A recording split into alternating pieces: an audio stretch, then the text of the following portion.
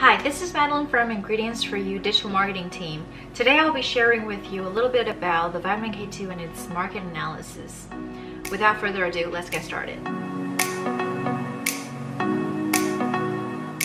Usually we mentioned vitamin K2, MK4, and MK7 are the most discussed, which present 4 and 7 isoprenoid units respectively.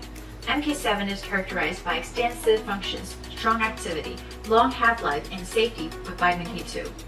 As an active form of vitamin K2, MK7 can actively promote positive bone health and maintenance, as well as cardiovascular health.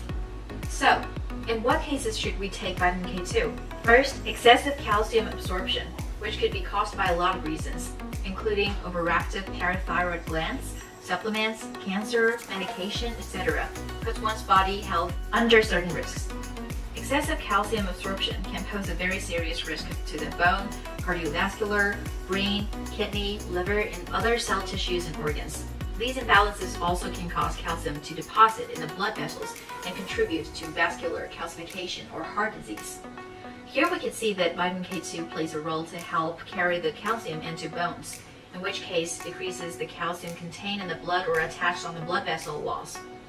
Vitamin K2 is combined with UCOC or UCMGP and becomes COC or CMGP respectively, which traps and binds calcium into bones. Once the calcium contained in the blood and attached on the vessel walls are decreased, the risk of having cardiovascular and heart disease decreases accordingly. Next, let's talk about the vitamin K2 future market analysis. Basically, accelerating at a compound average growth rate of 8.92%, the global vitamin K2 market expected to grow by $92.34 million during the forecast period. And there are a few top players in the market that are worth being mentioned in this image. Here we have some trendy general uses of vitamin K2. While for vitamin K2, it will mostly be seen in the food and beverage industry. Generally, the global functional food and beverage market has been steadily growing in recent years, manufacturers have become more innovative with the ingredients they include to bring benefit to consumers.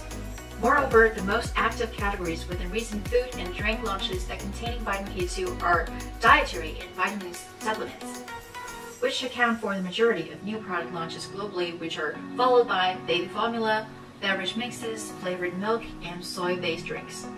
Those growing focus on functional foods and supplements owing to health concerns is projected to boost the global market over the forecast timeline. While many consumers actively turn to supplements and functional food and beverages to support bone health, tremendous opportunity exists for launches in the market the 2022 Consumer Survey on Dietary Supplements indicated that 21% of supplement users reported taking dietary supplements to support bone health. Other areas of opportunity lie in the unconventional target consumers for bone support products, which are athletes, fitness enthusiasts, and vegan or vegetarians. According to the research of global market manager Xavier Berger at Gnosis by Lesaffre, consumers are catching on to the benefits of vitamin K2.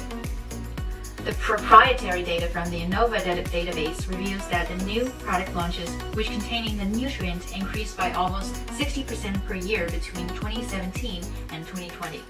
Dietary supplements, like including tablets, capsules, and gummies, accounted for nearly 75% of the new products. However, the increase is more notable in functional foods and beverages as delivery formats, such as sports nutrition powders, dairy products, and chocolate bars, this shift to more pleasant means of consumption creates an opportunity to reach a broader consumer audience and to grow the vitamin K2 category. However, other exciting breakthroughs are still being investigated, such as the possibility to play a role supporting areas such as lung and immune health. So anyway, the future of vitamin K2 indeed looks bright on many levels.